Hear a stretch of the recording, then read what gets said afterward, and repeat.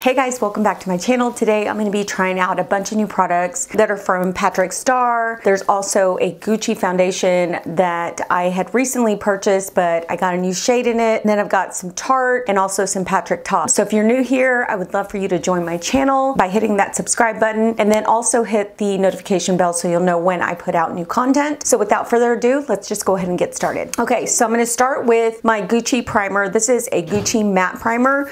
I really like this primer because it keeps me matte. It also kind of smooths my skin out. So I've been really, really enjoying this. I am trying out some other new matte primers, but this one's been my go-to. So I'm just putting this all over my skin. This is such a good primer for that Gucci foundation. The foundation is a little bit on the watery side.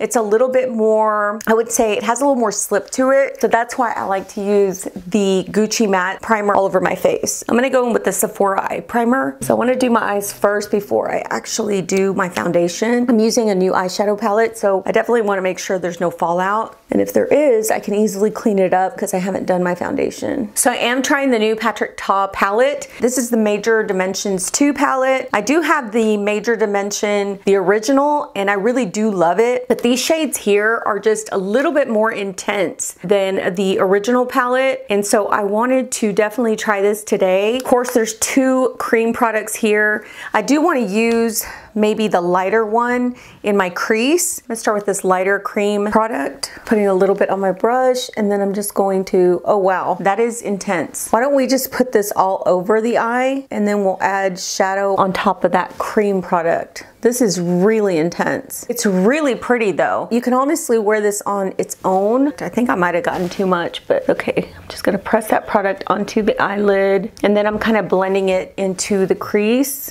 and I'm going a little bit above the crease with this. So I'm just kind of shearing it out with the brush. So that's gonna be like kind of a base that I'm gonna use today. All right, so I'm gonna go in with this shade, I'm sorry, I'm gonna go in with this shade right here. And I'm just going to actually blend that in the crease and kind of like on the outer corner. The cream shade that I used actually looks like a little bit lighter in the pan, but when I put it on my eyelid, it's like kind of rosy. And then I'm gonna add a deeper tone. I'm gonna add this tone right here, and I'm just gonna focus that just on the outer corner.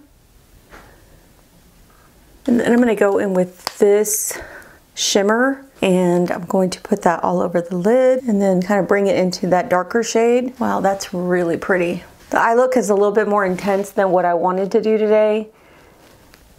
Cause I'm actually just gonna be running errands. I'm not gonna be doing anything special, but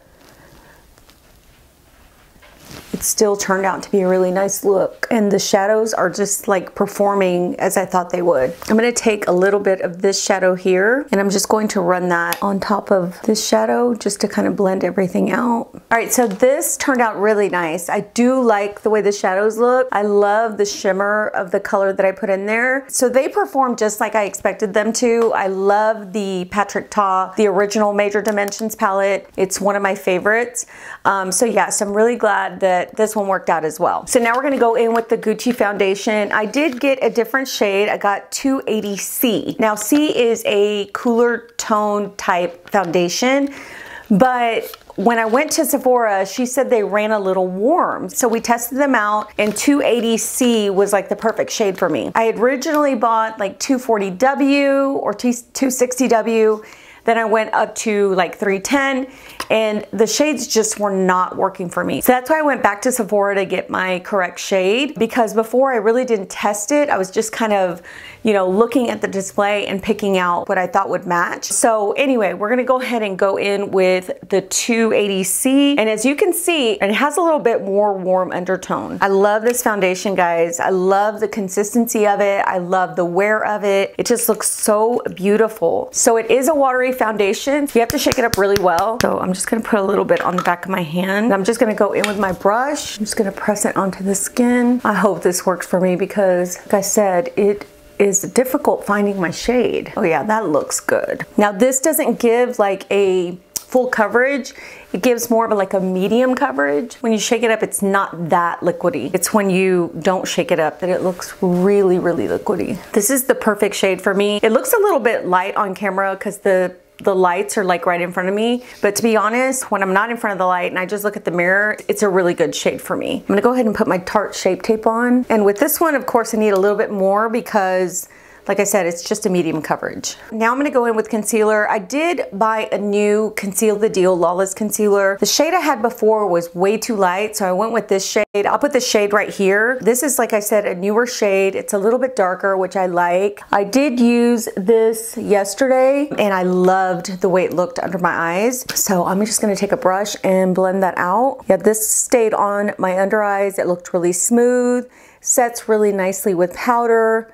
Um, what I do like to do with this is I do like to let it sit for a little while before I powder it. I just feel like it sets better when I do let it sit for a while. When I say a while, I only mean like a couple minutes. I did my eyebrows earlier, guys, and I used my Charlotte Tilbury Brow Cheat and it's in natural black. All right, I'm gonna go ahead and let that sit for a minute and then I'll come back and we'll powder up and then we're gonna try some new Patrick Starrr products. All right guys, so I'm gonna set it with the Givenchy. This is the Rose Voila powder. I usually take a little bit, then I pat it on the back of my hand and then whatever is left, I set my under eyes with that. The Lawless concealer sets really nicely with that powder. And for my foundation, I am gonna set my skin with the Gucci powder. I have the shade 7 and 10. Now 7 is a shade that I would actually use like during the winter months. And then 10, 10 is a little bit darker, which I actually need now, you know, just to kind of warm up the face. I'm gonna go ahead and set my face with the number 10 powder. And I'm just pressing it into the skin. This powder is so nice on the skin, guys, and it goes perfectly with this foundation. It also goes well with a lot of foundations that I have in my collection. It makes my skin look really soft, very smooth. I'm super excited because I'm finally trying the One Size Bronzer from Patrick Starrr. I have not used this bronzer, but I think it's gonna look so pretty on the skin, or at least I hope it is. But yeah, I haven't tried the bronzer, but I'm really excited to try it today. I think I'm gonna start off with this middle one here and just see how that looks on my skin. And if I need to go a little bit darker, darker, I will. Oh my gosh, that's so pretty. Okay, let me do the other side. This is very pigmented, so be very careful not to go in too heavy-handed. Oh, that's so pretty. I think I want to deepen it up just a little bit. So I'm to go in with this shade right here. I'm to go in lightly because I'm kind of afraid this thing is pigmented.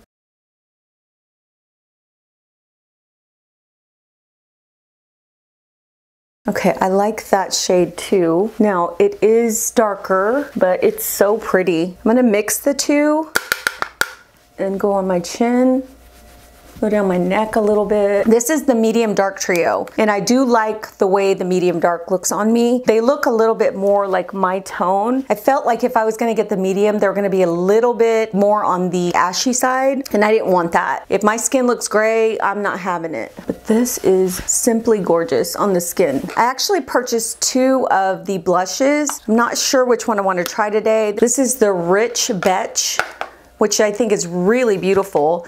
It does have a cream blush in it and then two powder. And this is more like a kind of a natural nudie tone type blush. The other one is very matte.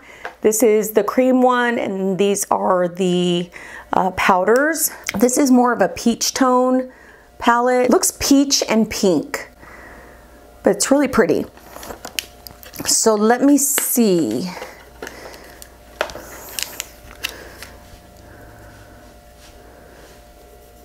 Oh, okay. So I'm gonna go in with Rich Betch. Okay, so we're gonna go in with this one really, really lightly because I heard these blushes were super pigmented. So I've got some on my brush. I am gonna tap a little bit on the back of my hand. And then I'm gonna hit the cheeks. Oh yeah, see, that is very pigmented and I even like tapped it on the back of my hand. That's really, really pretty. Oh my gosh. That looks so good. I'm gonna do kind of the Patrick Ta technique and I'm gonna put a little bit of the cream blush on top. Not that I need it, because I don't need it, but I just wanna see how this cream blush goes on. And it's pigmented, so I'm just gonna tap that on the back of my hand and then I'm gonna put on the cheeks.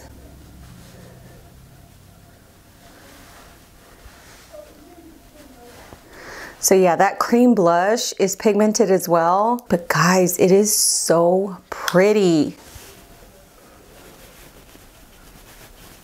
So you could wear the cream blush by itself if you're wanting to have like that more, maybe a little bit dewier look and not use the powder or you can use them together or you can just use the powder. Because either way, these are gonna come out beautiful on the skin. They're just really pigmented. So you have to be very careful. And because I went in a little heavy handed, I did purchase another one size powder from Patrick Starrr, and this is the shade. This is the medium dark one. Now, I don't know if I'm gonna use this one today, but I wanted to show you guys. I usually use, I think it's 4G, and this one is medium dark 1NG. So it's like a neutral golden. Look how pretty. And I think this would be really beautiful to set my entire face. So I'm not gonna use this one. I'm gonna get my 4G one and I'm going to actually tone this down a little bit with that one. So this is the 4G and I love this. This is in medium. It is way lighter than the other one. This one's good for me when during the winter months when I'm not tanned. So yeah, so I'm just gonna use this to press it into the skin right here just to kind of tone down the cheeks.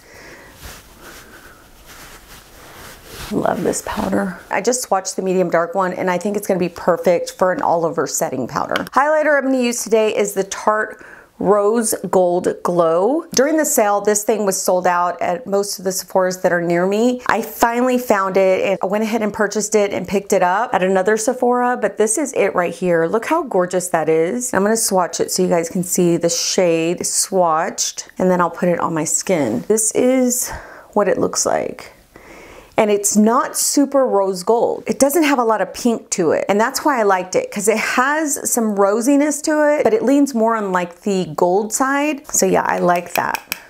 So I'm just going to place this on the tops of my cheeks. Do you see how well that blends? It looks so pretty with that blush. I stopped putting uh, highlighter on my nose. As a matter of fact, I started putting blush on my nose and I forgot to do it but I put a little bit, whatever was left on my brush, I put it on my nose. And I just love the way that looks. Now, I don't go crazy or ham with the blush on my nose, but I put just a tiny bit. Okay, so I've got this lip liner called Versatile Chestnut, and it's by Makeup Forever. I swatched this in store, and it was so pretty. So that's a swatch right there. See, it's like a kind of a warm brown tone. These are so creamy, guys. Okay, so now I'm gonna go in with the Anastasia lipstick. This one's in Haze. I bought this and I loved the shade of it. It's a very light shade. So I'm gonna go ahead and just put some on here gently because I don't want it to look like too opaque. The formula feels super creamy compared to what they used to be. And the lip gloss I'm gonna try today is the Patrick Ta Pouty. Pouty's one that I just recently purchased. I love these glosses. They make your lips look very nourished. They make them look nice and plumped, but not in the way where your lips look like overly plump. They don't have that much effect on your lips, but they do make them feel like they're plump and nourished.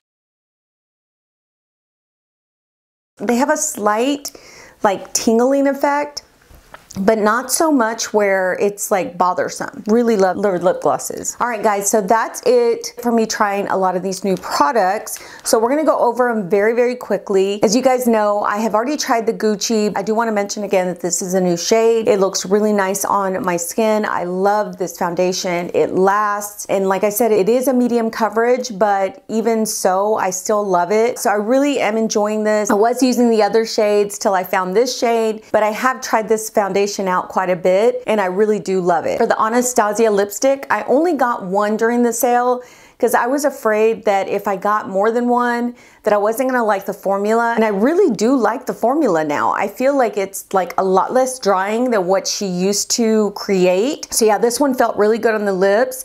It didn't like feel like it was tugging or pulling.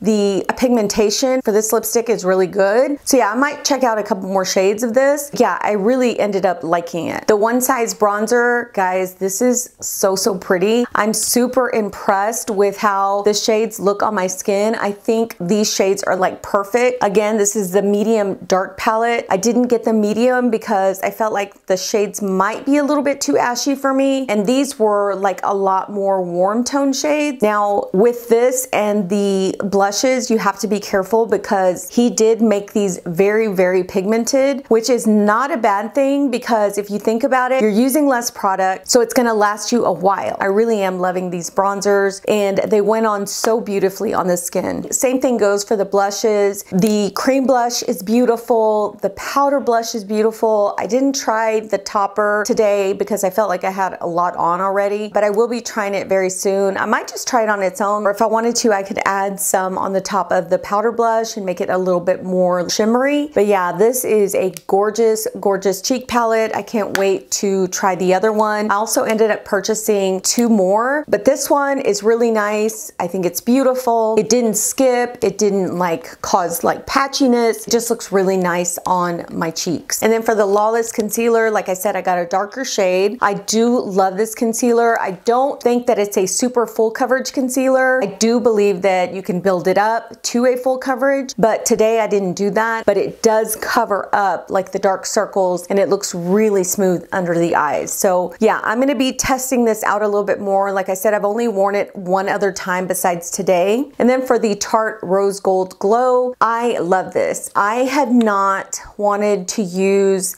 highlighters here lately because I was going for more of a kind of like a softer like sheen type highlighter and I really think this delivers that. I don't think it delivers like that, you know, like a super glowy look. I think it delivers like a really beautiful, like soft sheen highlight. It looks like it kind of just melted into my cheekbones. So yeah, I'm loving this. And last but not least is the Patrick Ta palette.